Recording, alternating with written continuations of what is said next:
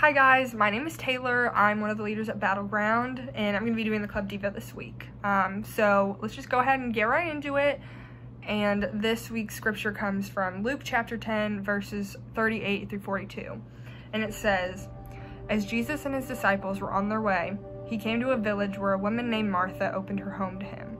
She had a sister called Mary who sat at the Lord's feet listening to what he said. But Martha was distracted by all the preparations that had to be made.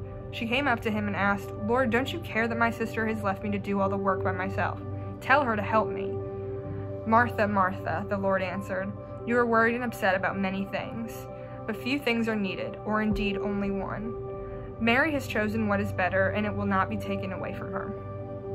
So, in this passage, the main focus is on two women, Mary and Martha, and Martha is in the kitchen. She's working really hard to make a really good meal for Jesus. He's been walking, wants to feed him well, wants to have a nice home for him. It's cleaning and doing all of these things. And she's getting really frustrated that Mary is sitting in the kitchen or in the living room talking with Jesus. When I think about how Martha is probably feeling, I think about how I feel when I'm working on a group project and I'm the only one doing any of the work. I'm really frustrated, I'm mad, I just want people to participate as well, so I'm not the only one working. Um, so Martha, or Mary, is sitting in the living room talking with Jesus, listening to his stories.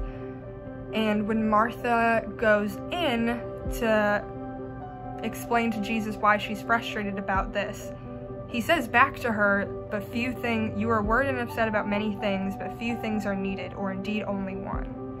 So the one that he's talking about is himself.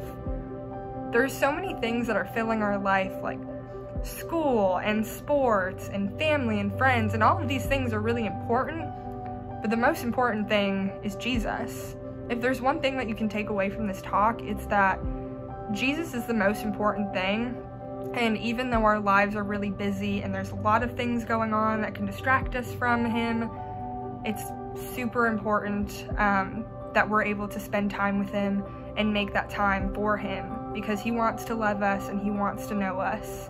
Um, yeah, so that's what I have for you guys today. I encourage you guys this week, whether it's going to church, whether it's praying, whether it's reading your Bible, um, to take time to spend with the Lord this week. Um, if you have any questions about how that looks or what you can do, your leaders would love to talk to you. Um, but yeah, have a great week, everyone, and we will see you in two weeks for the next COVID Connections.